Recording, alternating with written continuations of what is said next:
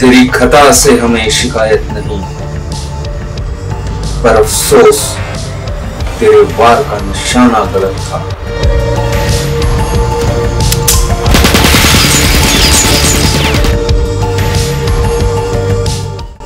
manager Hindi driver